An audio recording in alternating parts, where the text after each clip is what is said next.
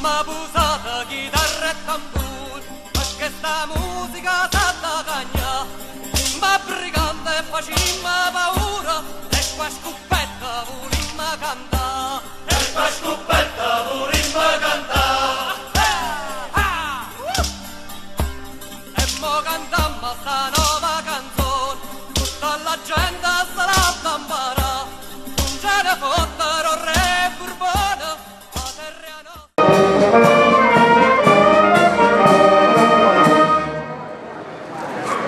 Cosa scendiamo? Andiamo? Sì. Attacchiamo la marcia e scendiamo. Bene, da che faccio? Dove Viviana. L'attacchiamo e scendiamo. Pronti? Un, due.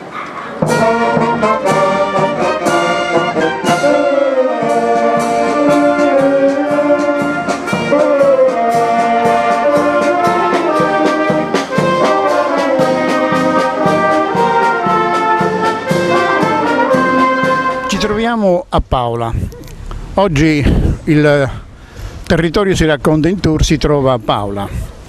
E siamo qui eh, sotto l'arco della zona eh, vecchia di, di Paola, nel centro storico di Paola, col signor Scalzo. Signor Scalzo, oggi è eh, dedicata alla Madonna all'Immacolata e quindi è dedicata eh, la giornata alla benedizione delle bandiere. Ci spieghi un attimino cos'è questa giornata e come, come si svolgerà? Dunque, come si svolgerà, ma come si svolgeva, perché è una cosa della tradizione del Regno delle Due Sicilie. Quindi eh, la benedizione delle bandiere era, eh, siccome l'Immacolata Concezione era la eh, patrona del regno, e poi anche San Francesco da Paolo è diventato co-patrono. No. Quindi eh, c'era questa, nella tradizione del Regno delle Due Sicilie, c'era questa eh, cerimonia che si sfilava con le bandiere del regno e quindi si andava alla, nella chiesa dell'Immacolata dove c'era proprio la chiesa dell'Immacolata oppure in una chiesa comunque eh, sempre eh, l'Immacolata c'è in tutte le chiese quindi e si richiedeva la, la benedizione delle bandiere perché come noi sappiamo le bandiere rappresentano un popolo ecco. È, è- è particolare questa festa che si fa ogni anno, penso, vero? Sì, sì. Ed è ehm, un qualche cosa che rimane all'interno, al cuo- nel cuore de- di voi che partecipate e che la volete così fortemente. Sì, eh, noi la vogliamo eh, per, per ragioni eh, innanzitutto religiose, di, di fede, no, soprattutto per questo, ma di fede nei confronti della Madonna della Immacolata Concezione, ma anche di fede nei confronti delle nostre radici, della, eh, la nostra bandiera del Regno delle Due Sicilie rappresenta le nostre radici e, e quindi è un fatto molto sentito nel nostro cuore. È, è- è un discorso molto lungo, eh, noi lo riprenderemo anche più tardi col Presidente e con altri soci di questa eh, bella associazione. Parlare del Regno delle Due Sicilie oggi, nel 2022, quasi 2023, è diverso? È, positivo? Non è positivo secondo lei? Ma eh, sembra, può sembrare anacronistico perché ovviamente eh, si parla di Europa, si parla eh, di unire, magari fosse vero, il mondo sotto eh, un'unica cosa per evitare guerre, per, evitare, per migliorare le condizioni di tutti. Però mantenere le proprie origini, le proprie radici, la propria cultura, la nostra storia non è secondo me un, uh, un fatto negativo, secondo me è un fatto di arricchimento anche per la società moderna. Eh, perché vi do solo un piccolo esempio. Antonio Genovese, no, che fondò la prima cattedra di economia al mondo alla Federico II di Napoli, parlava di economia civile, quindi di un sistema diverso, non basato sul consumo di suolo eccetera, ma basato sull'equilibrio tra società, economia e quindi eh, al centro di tutto c'era l'uomo ma c'era anche l'ambiente.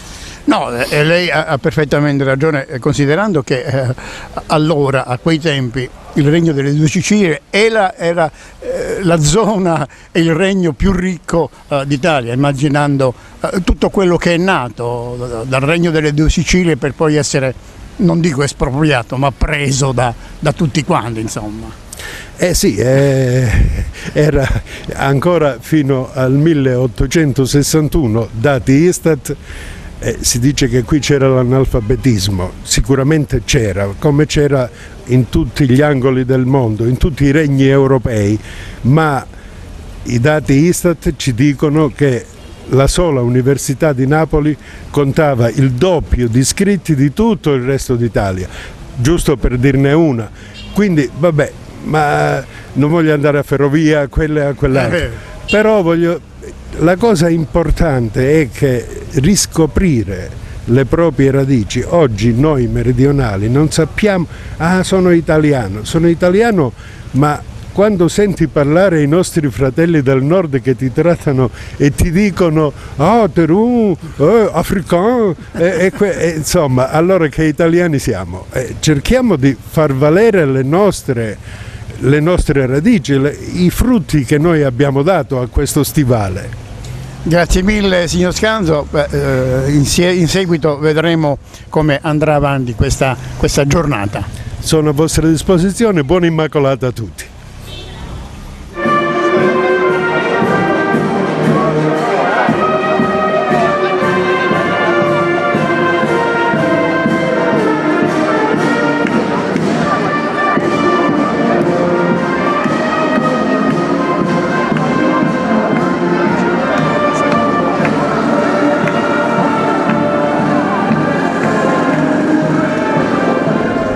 Siamo sempre qui a Paola e siamo, dopo aver parlato col, eh, con l'amico, col brigante come lo chiamano, siamo con Pasquale Sciammarella che è uno dei soci di questa associazione. Cos'è che la spinta a, a questa associazione ad essere uno dei, di, non dico dei fondatori, ma quasi di questa associazione? Sì, sono uno dei fondatori insieme a Angelo Ciampi e altri eh, che sicuramente verranno a breve. Eh, io faccio parte del, del movimento del, dei movimenti neobormonici già da tanti anni eh, e poi abbiamo fondato questa associazione qui a Paola, tra Paola San Lucido e Guardia, eh, che sta andando bene, che fa un, molte iniziative interessanti. io partecipo sempre con entusiasmo a questi, eh, anche perché comunque ideologicamente faccio parte di quest'area.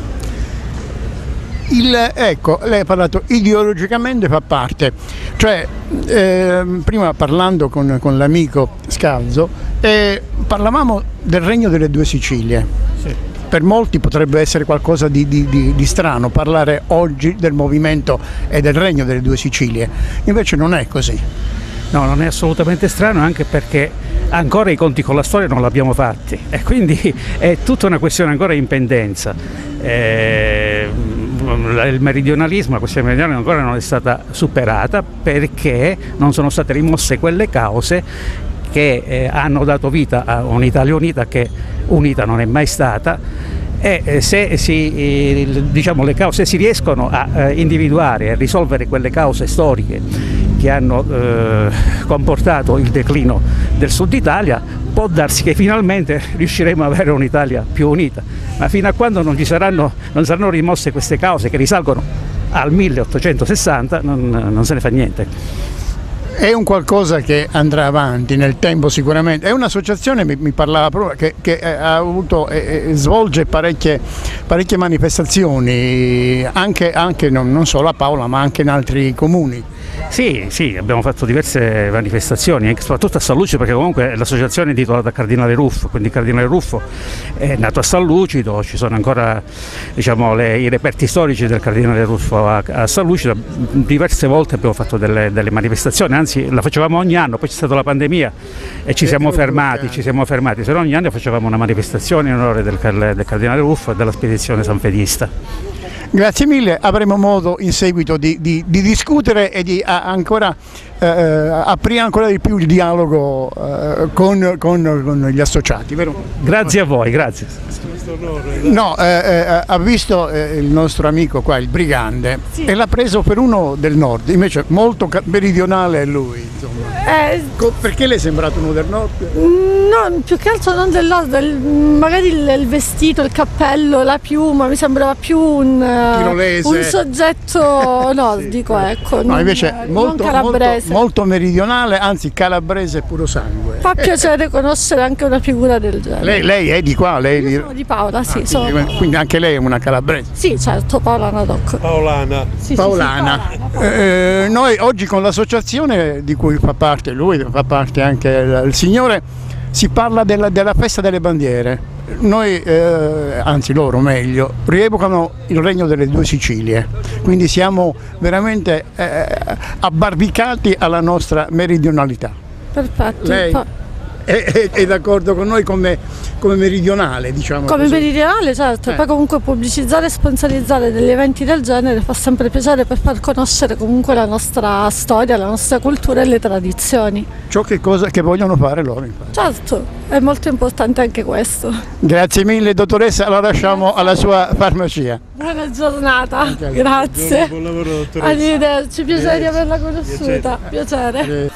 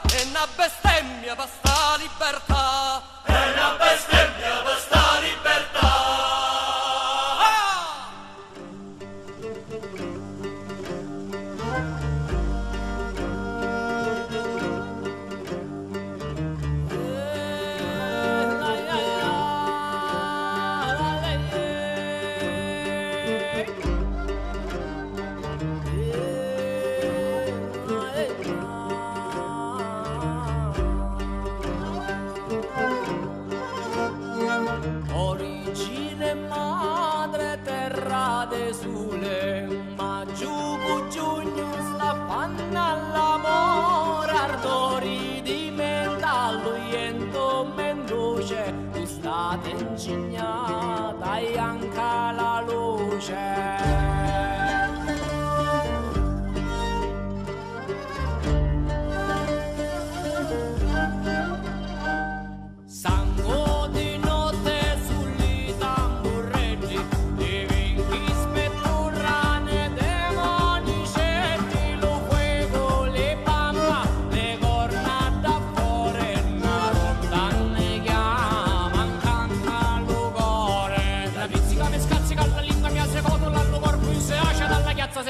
fomenta, la pizzica mi scazzica la lingua mia secondo il leno te darà.